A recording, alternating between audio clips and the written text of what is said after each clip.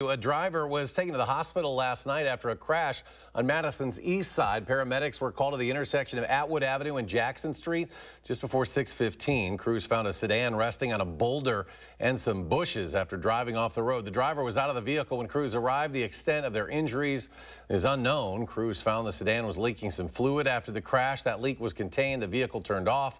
The crash remains under investigation.